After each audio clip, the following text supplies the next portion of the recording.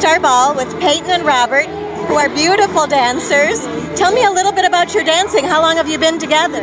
We've been together for almost three years, and we live in Utah. And we are 10 dancers, and he's 16 and I'm 15.